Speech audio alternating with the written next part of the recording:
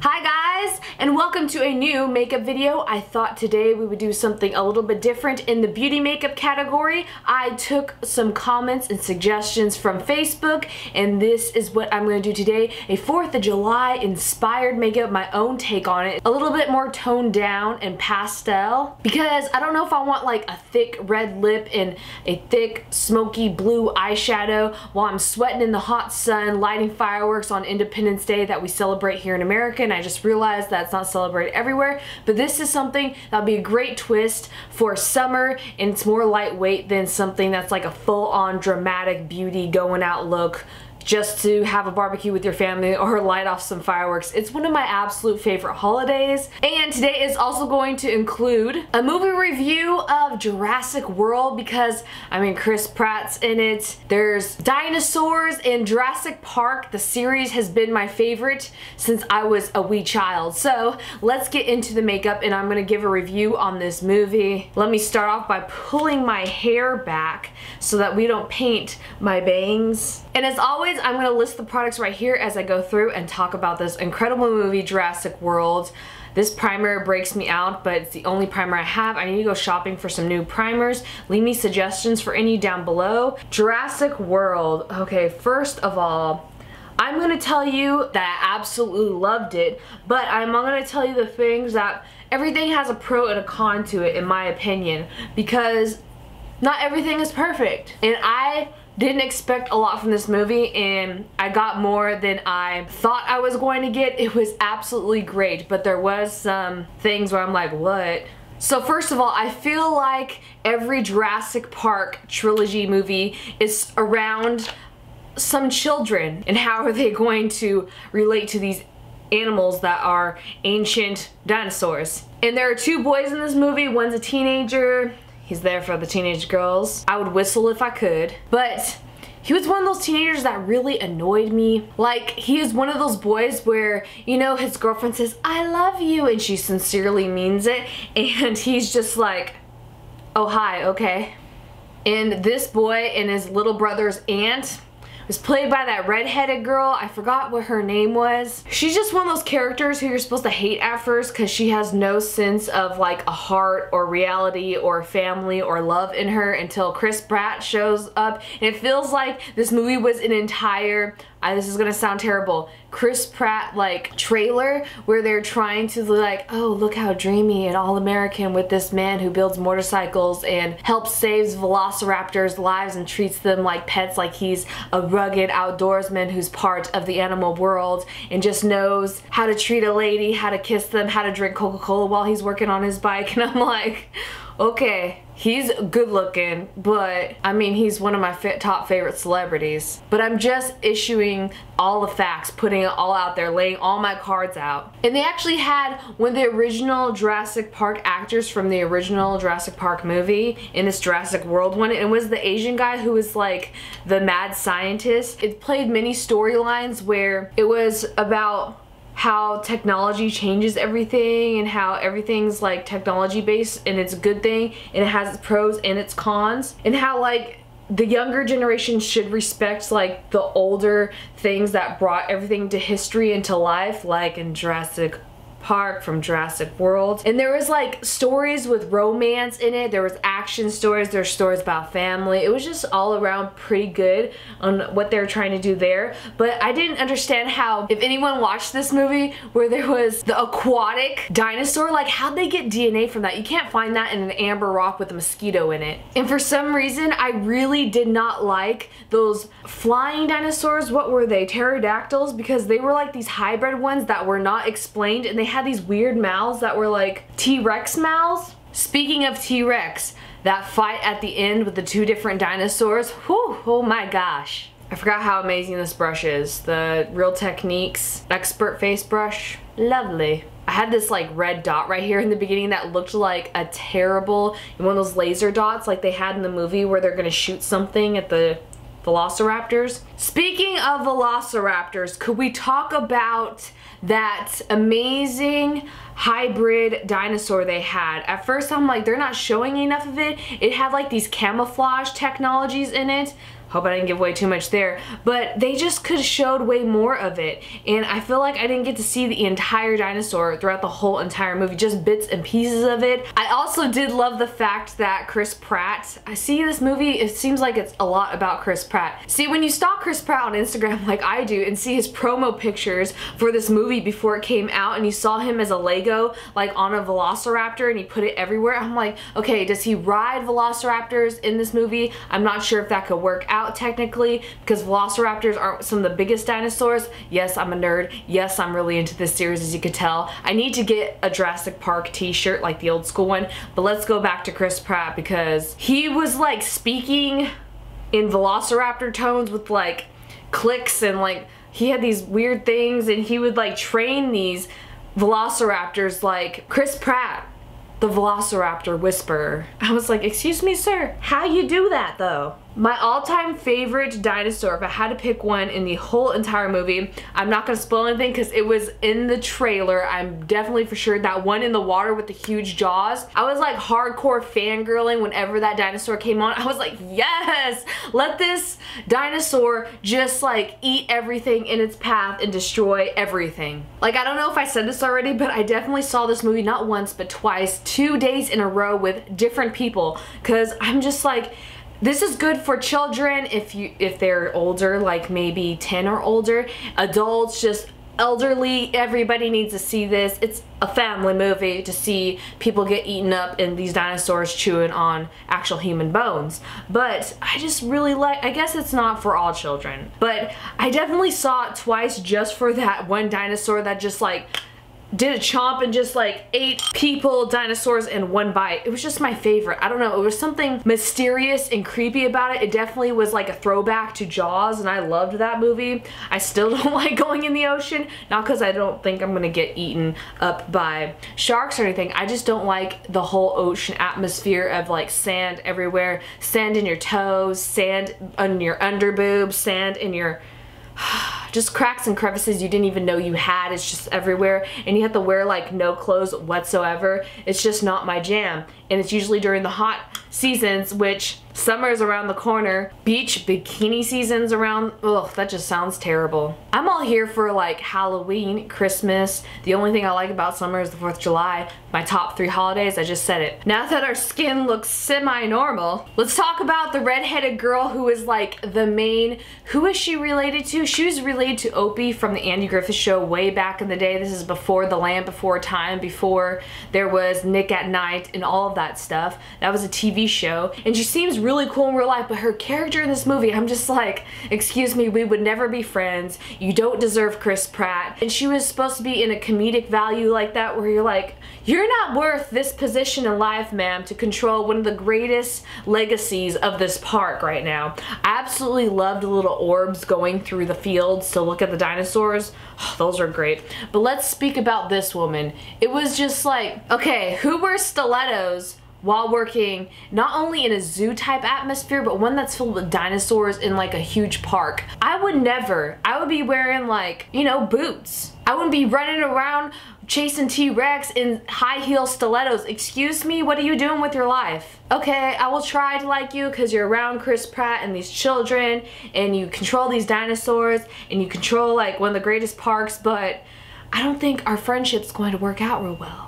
If you hear beeping and everything just random noises throughout this video, um, yeah, they're doing construction across the street and it is 95 smooth degrees outside, so I have the AC on full blast, you better believe contour that nose. Speaking of nose contour, of course in movies I always pick out the makeup issues with it. Not saying I'm the best beauty makeup or special effects or any type of makeup person in the entire world, but I look at things like this and I want to critique everything so that I won't make those mistakes myself if I am on a job. And they did that makeup with that redheaded woman and it was like the contour was like line brown line brown right here line brown line brown. She has beautiful cheekbones that I just admire but if you do your cheekbone contour like to the max and she has that very harsh bang with that haircut just like Edna Mode from The Incredibles but red not my cup of tea. You are living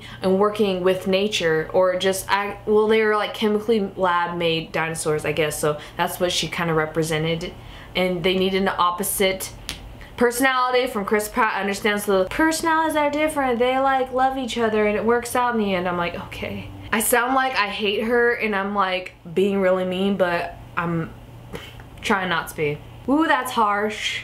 Don't you hate when you get your blush just like way too strong. Let's speak upon the rides in this park. I absolutely loved the feature of like the little museum, well their new museum in this Jurassic World and it was like this pyramid volcano looking thing. I'm using the totally wrong color than what I wanted to. I wanted to use my blush color. But they had this museum feature where you get to have a throwback to the Jurassic Park where it's like the little DNA man talking to you and they have virtual dinosaurs so that the children could learn more about the dinosaurs and they could have an experience of uncovering fossils themselves with like dusting off of bones and everything and I'm just like this is so cute and adorable. I would love to visit this place. Although I don't like that idea of like making a dinosaur in a DNA test tube whatsoever. Do you see the red, blue, the white of your eye? We're getting there.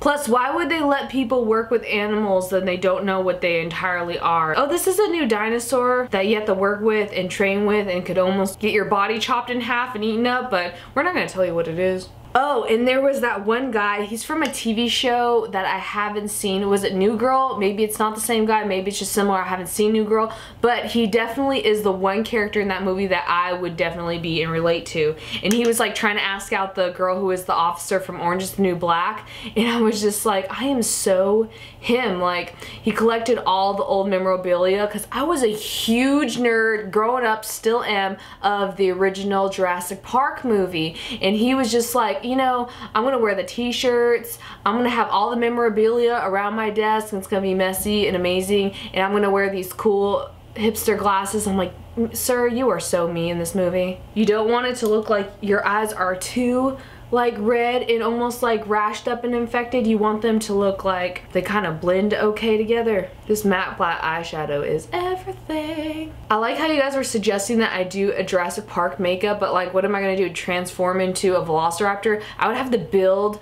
foam prosthetics on my face for that to work even for like months on end and it just won't work out. I'm so sorry, I wish I could, but for me to make it look good and for my personal taste, I would want to like build an actual prosthetic on my face and that takes a lot of time and money. I've done it before and it's just like if I had the time and money, girl I would. Blend, blend, blend. Blending is key. Blending is like having Chris Pratt on your side while you're trying to defeat some dinosaurs. You just need it all the time whenever you can. Transition color though.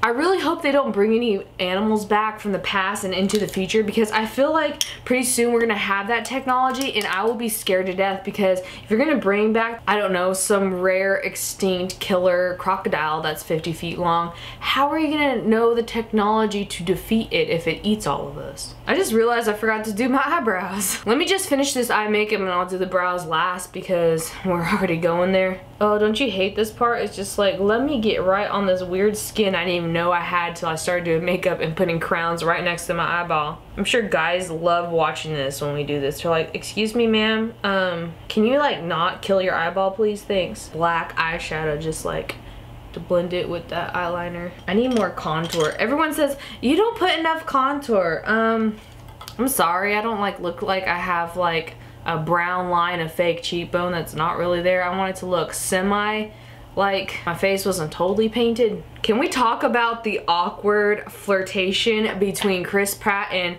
I need to look up what that redhead lady's name is. But yeah, she was like flirting with Chris. I'm like, excuse me ma'am, if you're gonna flirt with Chris Pratt, you need to do it correctly and not just like, who wears board shorts to a date? He can wear whatever he wants to. Excuse me? With your Mercedes-Benz nude heel pump run around a zoo park, weird Edna Mode haircut, weird contoured makeup. You're flirting with Chris Pratt right now doing that?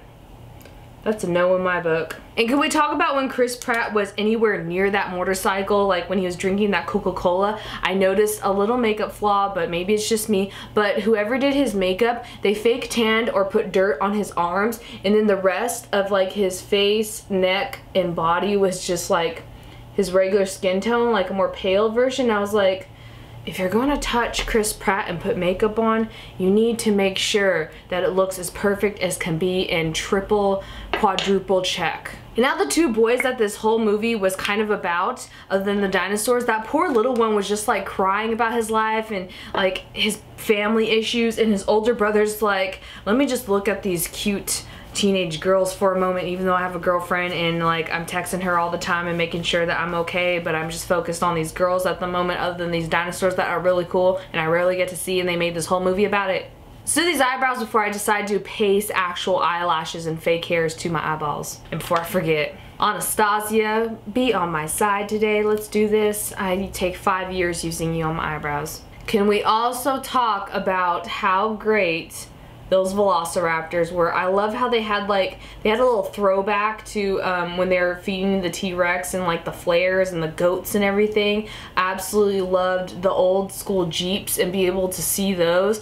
And let's talk about those Jeeps. There was one part in the movie where these boys were like stuck in the middle of nowhere and they found like an old part of the old park in like this museum-esque setting in the rainforest part of the park and they decided that they needed to work one of these Jeeps the ones from like the 90s which is probably like 20 years something old. They don't even look old enough to drive but they knew how to fix that car. If you were only fixed a car they said one time how are you gonna know how to fix a 90 something Jeep excuse me, and they did it like really quick. It just didn't make any sense. I'm like one of those children when I watch a movie where afterwards I'm gonna talk your freaking ear off and talk about everything and second guess everything like I'm brand new to this life and I was just popped into this world. Oh my gosh, and that one guy who's trying to work with Chris Pratt and Chris Pratt's like, listen, I know when I see a genuine person or not, and sir, you are not a genuine nice person or care about animals or life or have a heart. I feel like eyebrows are the one thing that like needs to be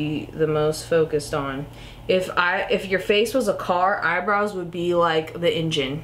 You just need that for everything to function correctly. Because it is so hard to get your eyebrows correct and even. It's probably easier to find a dinosaur. I also got a little bit terrified with my favorite dinosaur, the one that's the water one. They treated like it was SeaWorld, like Shamu's life, where you get to go see the splash zone and it splashes you and you're seeing this animal inside of a giant pool, which kind of terrified me because there was this woman with like a little flight attendant tie who was like introducing the most vicious monster in the movie and she's like, okay, now that it can eat whole entire uh, 12 foot sharks from up in the air and just one little nibble, we are gonna bring you closer real quick and have you see what else this animal could do, which is splash you. And then they not only do that, they drop all the audience that's watching this animal just eating things in one chew, like down below. Like their seats collapse and they go into this lower level to see up closer. Like here's you going closer with just the animal in a piece of thin glass separating you from this thing that's ancient. We don't know enough information about to almost eat you alive. It could. Let me apply these to my face. Oh my gosh this is so hard it must be easier to talk to velociraptors and learn that than to put eyelashes on Velociraptors are the scariest and have to be one of the most fearsome favorite dinosaurs of mine. I remember even as a kid, I would love to go to the dinosaur museums with my brother because me and him both love dinosaurs, him more than me, but like that was like our jam. Just like watching that movie. I've probably seen the original Jurassic Park at least 30 times. Girl, these lashes are like one of my absolute favorite dinosaurs also from Jurassic Park and Jurassic World, I'm talking so much about this, are those ones that spit stuff at you from the original Jurassic Park and they have those like fan things on the sides of their face. This It's like if they had lashes, man, these would be close to them. Talking about dinosaurs having lashes. Eyelashes on infinity and beyond fleek. Can we talk about how Chris Pratt, when he was drinking the Coca-Cola, was so like iconic and just stood out? It reminded me of like maybe they put that in there purposely. Maybe it was a Coca-Cola ad. Did anyone else feel like that or is it just me? Jurassic World today is brought to you by Coca-Cola. Running and sprinting in stiletto heels by Christian Louis Vuitton. And that woman with the red hair when she was driving like her nephews across was like driving them in a $200,000 car. I'm like, Listen, you guys got the budget for this movie, that's for dang sure. I could never drive a $200,000 car. I'd be too afraid for my life and for others. I need more black eyeshadow. I feel like every time, I'm just like, this needs more definition. This Hourglass palette, I thought it was great, but thinking about it, I would only get this middle color. just to inform all y'all if you're thinking about getting it because I've raved about this palette and I do like it but just get that middle color which is the incandescent the lightest one. My favorite part to put highlighter is like right here. No it's weird but you don't need much there but it's like my favorite. I don't know why. Who has a favorite part of their body to put highlighter on? The whiz needs to be up in here. Y'all gonna make me lose my mind. Up in here now, like the language of the Velociraptors, let's speak in the language of lips because I'm gonna do something totally different today. It's not like it's never been done before, but like I rarely do this, but a lip tint, the Benetint, I hate this for cheeks and other things it says it could do, but for lips, I love it. It really stains. The staying power will last like even when you try to wash it off, it'll last the next day. I feel like this is so blood of thy enemies putting on your lips because it's so watery and powerful. Because you want it to be like red, but rosy red. Like you just drank Kool-Aid on the 4th of July. My shirt today is even kind of American with this Thunderbird on it. This is as 4th of July as I'm gonna get. I just don't want it to have like bright dark colors or makeup because like I said it gets hot in the 4th of July times here in the United States when we celebrate and light off fireworks and eat all of the American barbecue. And then I'm using the CoverGirl lip lava because it's so sparkly. It's like one of my favorite things and it just reminds me of like the sparkles in the sky when you light off fireworks. Don't you love that sound?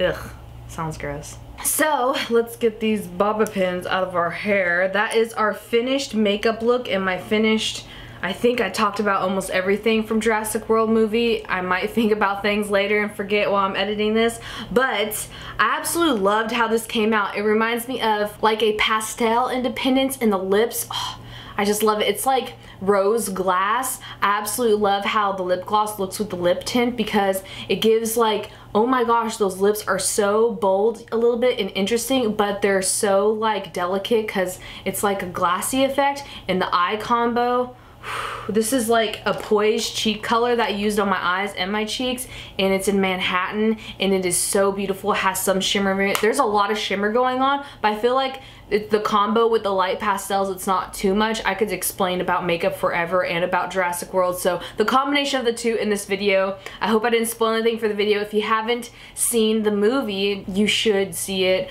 I mean even if you're not into action movies with dinosaurs ladies who just like makeup it's really good to look at the Chris Pratt in there. It's really good to analyze all of the makeup and all the details. I like looking at structures of plots and everything. So I hope you guys enjoyed this video and this makeup look. I'm definitely going to be wearing this on 4th of July. I just think it's so nice. We should set the makeup probably. I forgot to do that. Just so, you know, Hopefully you won't get too sweaty and it drip everywhere and that you don't burn these eyelashes on light while I'm lighting some fireworks. I hope that doesn't happen because I'm definitely, most definitely going to be lighting off some fireworks. Thank you guys so much for watching. Leave me a comment down below on what is your favorite movie that you've seen this summer. This is definitely one of my top favorite ones. I love chatting and doing these makeup videos. Let me know also if you like these type of videos because I love like just doing my makeup and talking to you like you my friends because of course you are. I hope you know that.